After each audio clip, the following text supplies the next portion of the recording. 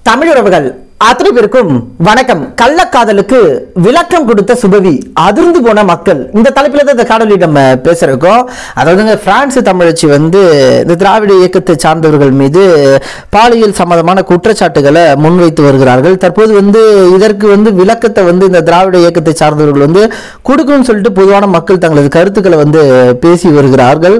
இந்த நேரத்தில் வந்து சுபவி அவர்கள் வந்து அவர் பேசின ஒரு வீடியோ சமூக வலைதளத்தில் வைரலாக பரவி வருகிறது. அந்த வீடியோவில் சுபவி என்ன பேசியிருக்காருன்னா கள்ளக்காதலுக்கு விளக்கம் அளித்திருக்காருங்க. அவர் என்ன பேசினார் என்பதை நான் காணொலியாவே இணைச்சு விட்டுறேன். நீங்களே பாருங்க. ஆங்கிலத்தில் கள்ளக்காதலை எப்படி பேர்ப்பது என்று எனக்கு தெரியவில்லை. டாக்டர் தெரிந்தால் சொல்ல வேண்டும். காரணம் என்ன என்றால் அவர்கள் அப்படியெல்லாம் பார்ப்பதாய் நான் நினைக்கவில்லை. காதல் என்பது ஒன்றுதான். அதுல என்ன கள்ளக்காதல் நல்ல காதல்? காதல். அப்படியானால் இது என்ன? திருமணம் கடந்த உறவு.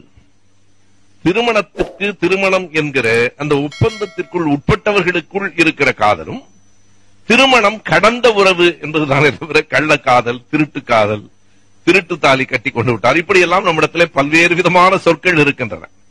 கேட்டால் இவையெல்லாம் பண்பாடு இதற்கு வந்து சமூக வலைதளத்துல ஒரு சிலர் தங்களது கருத்துக்களை பதிவு பண்றாங்க. அதுல தமிழ் பொக்கிஷம் விக்கி பாத்தீங்கன்னா இன்று முதல் கள்ளக்காதல் என்பதை மாற்றி தூய திருமணம் பின் காதல் என்று சொல்லுவோம். இந்த பொழப்புக்கு அர்த்தம் சரியா தெரியல அப்படின்ற மாதிரி அவர் பதிவு பண்ணியிருக்காரு. அதே போல சுப்பிரமணியன் என்ற ஒரு நண்பர் வந்து ஏப்பா சுபவி கள்ளக்காதல் என்னும் மொள்ளமாரி செயலுக்கு இப்படி ஒரு கேடுகட்ட விளக்கத்தை தமிழகத்தில் நீ மட்டும்தான் சொல்ல முடியும்.